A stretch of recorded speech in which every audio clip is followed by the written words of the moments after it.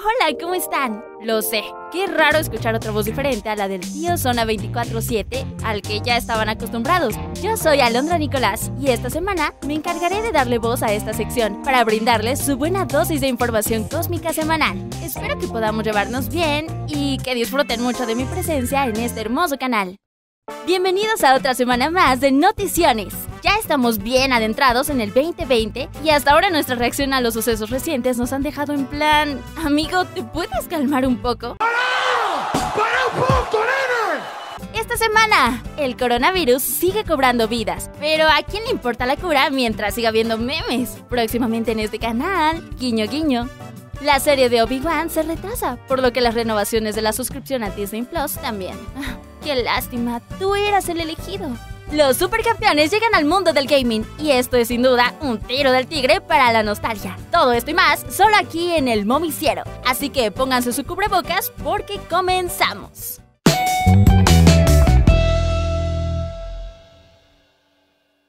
Amigos, esta semana comienza con noticias trágicas desde el mundo del deporte. Se confirmó que Don Michael Jordan se nos petateó y ya no podrá hacer más touchdowns en las grandes ligas. Lamentables noticias para los aficionados del golf. Bueno, hablando en serio, el fallecimiento de la leyenda de la NBA, Kobe Bryant, junto a su hija de 13 años, Gina Maria, sin duda es un hecho lamentable e inesperado. Una pérdida muy dura para sus familiares y un suceso doloroso para todos los que lo admiraban. Y ahora viene a nuestra memoria aquel corto animado del año pasado, ganador del Oscar en su categoría, en el que Kobe le escribía una carta al deporte de sus amores. Definitivamente una buena manera de recordarlo. Como seguramente saben, un nuevo virus amenaza con extinguir a la humanidad, así que a estas alturas parece que una tercera guerra mundial ya no será necesaria. Buenas noticias, creo. Pero no cantemos victoria porque el coronavirus viene a todo gas y los casos de pacientes contagiados aumentan. En Estados Unidos ya se confirmaron cinco casos y el benevolente gobierno chino, comandado por Winnie Pooh, nos hace la recomendación de no visitar Wuhan, la ciudad china en la que todo comenzó. Ah, bueno, pasa a ver, gracias por el dato, crack. En caso de que algunos pensaran que una ciudad con semejante epidemia mortal fuera el destino ideal para las próximas vacaciones. Y por la misma razón, Wuhan estará en cuarentena y de paso se cancelarán los festejos para el nuevo año chino. Ándele por andar comiendo perro.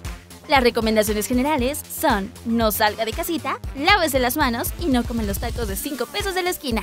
Pasando a noticias más agradables, en el mundo del entretenimiento ha pasado de todo. Y las críticas a Brie Larson por su papel como Carol Danvers en la Capitana Marvel no han cesado, a tal grado que un grupo de personas que juran que DC rifa más quieren que Marvel se deshaga de ella y que su lugar sea ocupado por una mujer afroamericana, homosexual, vegana y ciega o algo así, porque su personaje no es suficientemente incluyente. O quizá simple y sencillamente porque no simpatizan con la actriz, lo cual no es nada nuevo y a todo esto Brie Larson solo responde que ella no más tiene tiempo para preocuparse si ya tomó agüita y si ya le llamó a su jefecita.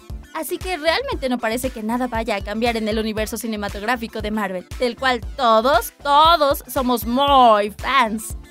Lucasfilm retrasó la producción de la serie para Disney Plus de Obi-Wan, lo cual fue confirmado por Diosito, el mismísimo Evan McGregor. Y esto se debe a que supuestamente las propuestas del guion para la serie fueron rechazadas, ya que la trama era sobre Obi-Wan cuidando de Luke y Leia cuando eran morritos, algo bastante parecido a la trama de The Mandalorian. Y oficialmente la producción de la serie pasó desde 2020 hasta enero de 2021 para poder plantearla mejor. Así que hay dos cosas seguras. Dos guionistas acaban de perder sus empleos y los usuarios de Disney Plus tendrán que conformarse con seguir viendo a Baby Yoda en bucle por lo menos un año más.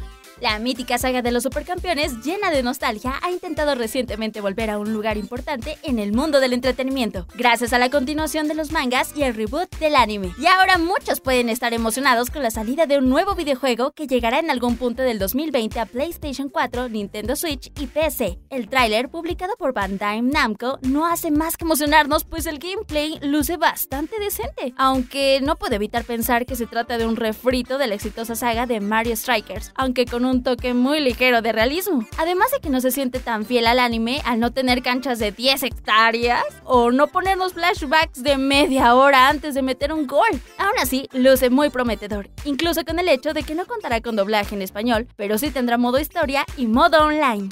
Por último, el imperio de Disney sigue creciendo, y aunque nadie se lo pidió, la Casa del Ratón seguirá produciendo versiones hiperrealistas y sin emociones de sus clásicos animados. La versión de Mulan está a un par de meses de estrenarse y tampoco faltaría mucho para la precuela de 101 Dálmatas con Emma Stone. Y todo parece indicar que uno de los proyectos en los que empezarán a trabajar próximamente es la adaptación en live action de Bambi. Así que muy pronto tendremos venados asesinados y conejos impetuosos en un fantástico CGI. ¡Qué emoción! Muy bien, perros. Esto ha sido todo por hoy. Nos estaremos viendo la próxima semana con más noticias aquí en el Momiciero. ¡Adiós!